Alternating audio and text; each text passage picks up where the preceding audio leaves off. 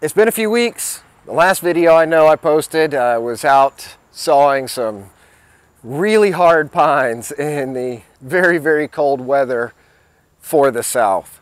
Um, it was rough, but we got the job done. Uh, the customer was incredibly happy with it. Uh, he got more than enough to do what it is that he wants to do, and uh, the boards came out beautifully. Uh, I only had one board that came out with an issue in it because of the blade. Uh, today, what we're going to do is um, demonstrate how to curl and uncurl a blade um, when they come off of the sawmill. Um, we're also going to be working on these three logs that are right behind us. The one closest to the camera here is a white oak log. The two behind it are red oak. The two red oaks are going to get quarter sawn. One's going to get quarter sawn at eight quarter. The other's going to get quarter sawn at four quarter. The white oak log that's sitting here, we're actually going to be cutting a mantle out of that that's going to be six inches thick, 12 inches wide. He needs 74 inches. I'm going to add a foot on to that, six inches for either end for splitting, cracking, checking, etc. But I'm going to walk through that process as well, how I determine how it is that I'm going to cut a mantle out of a log. Um, I don't believe it's as simple as just roll a log onto the mill, square it off into a cant, and then cut a section off of it, you've got a mantle. Uh, for something like this, I want to make sure that I'm not boxing the pith. That'll cause the mantle to split apart. I really want to try to get a quarter sawn face on the leading face of the uh, mantle itself. That way, when you're standing there looking at it, you get to see that nice quarter sawn pattern going across it. So that means I either need um, sawn hitting that leading edge or quarter sawn hitting that leading edge. We'll just have to see what I can do about it. Usually for something like a 12 inch wide mantle at like six or seven inches thick, I would really want a bigger log than what we've got here to cut it out of.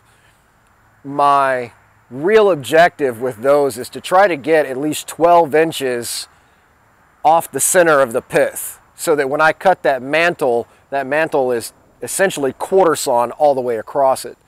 Uh, you get the ray flecks going across the top and the bottom. You don't get the ray flecks, you get more of a cathedral front to that mantle but that's going to be the most stable without, or rather with the least amount of twist and cup and bow and splitting that I can get for that customer. In this particular instance, that's just not viable.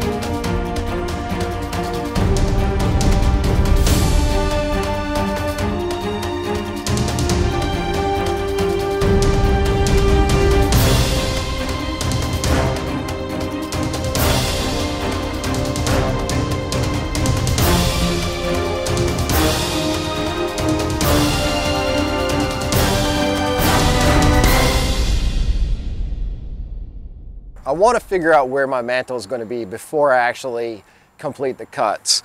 This cut and this cut I took off because the log was bowed at both ends or had large outgrowths at both ends and those really just kind of get in the way of being able to see where the log is in relation to what it is that you're trying to lay out.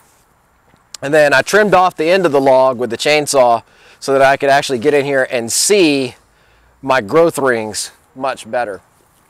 Now what I want to do is I want for this mantle, since what most people will see will be that front leading long edge, not the top, not the bottom, but they'll see the two ends and they'll see that front leading edge. what I would like to do is try to get quarter sawn material on that front leading edge. What that does mean, however, is that we're looking at a, a flat sawn piece of timber.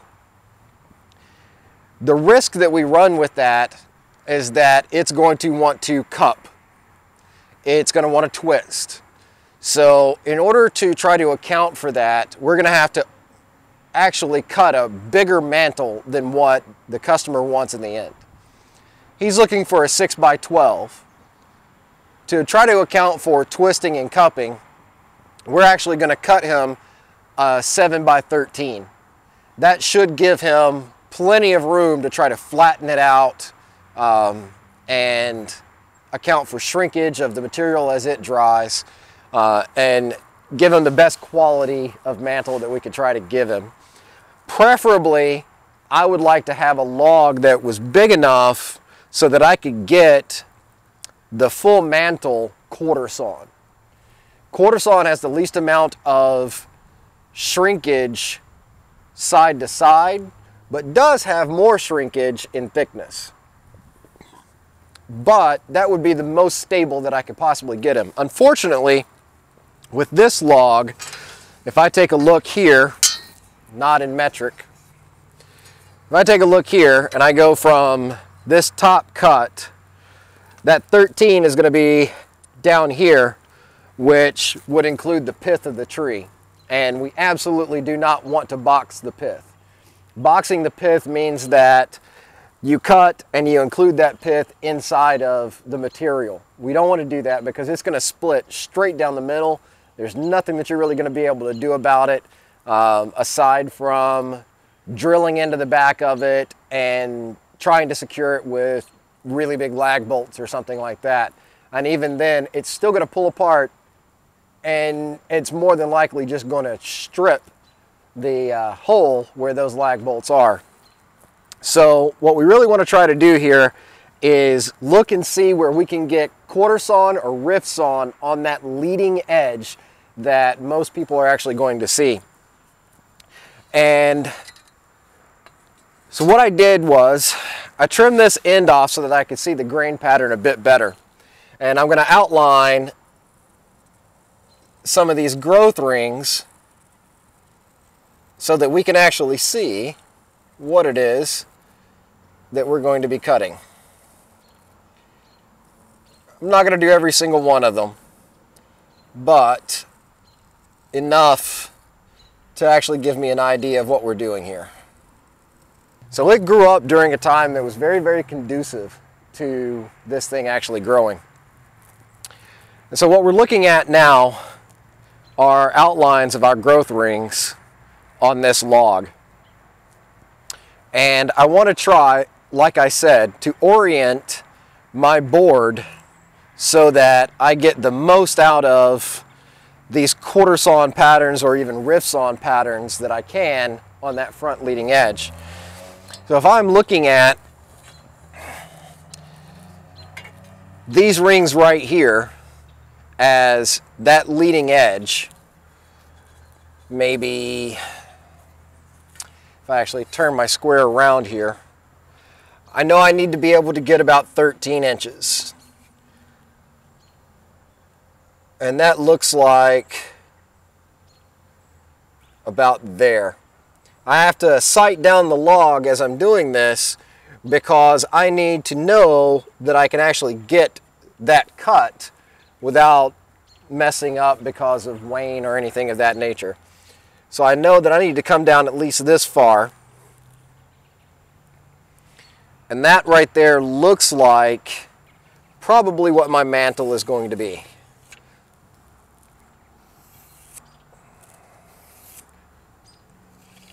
Right there. And I'm going to square that off on this side as well. Lay this out. I'm going to bring it up to the seven, which will give me about seven inches. And then I'm going to mark that and run it down. And then I'm going to come around on this side here And I'm going to put it on 13. Uh-oh. Put it on 13, try to hold it in place. And see what that gives me. So it looks like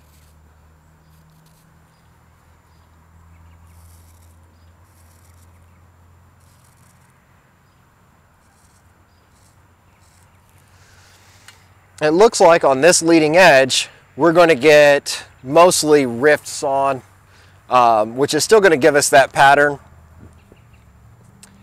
which is exactly what we want. We want that uh, rift sawn type pattern or quarter sawn pattern.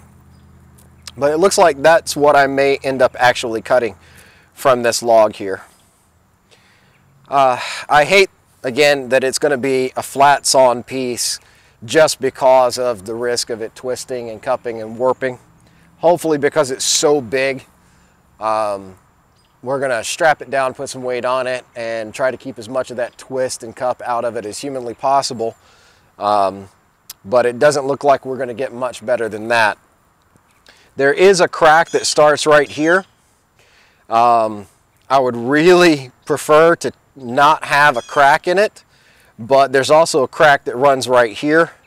The only thing I would really be able to do is either sh is shift it to this side, but if I shift it here, then we're gonna have this crack running through it. So it really looks like no matter what we do, we're gonna end up with a crack.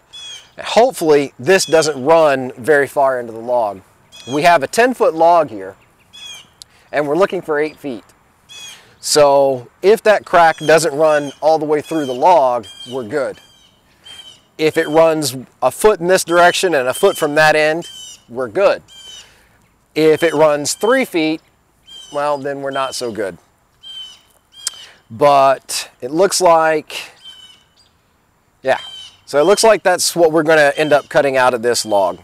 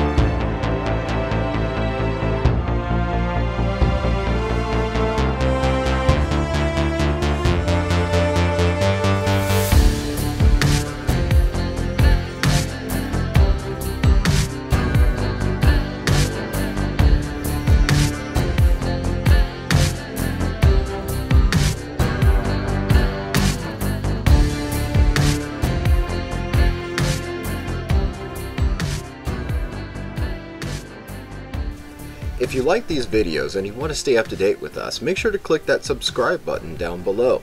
You can also visit us at vikingblooded.com and facebook.com forward slash vikingblooded and patreon.com forward slash vikingblooded. As always, stay safe and have fun.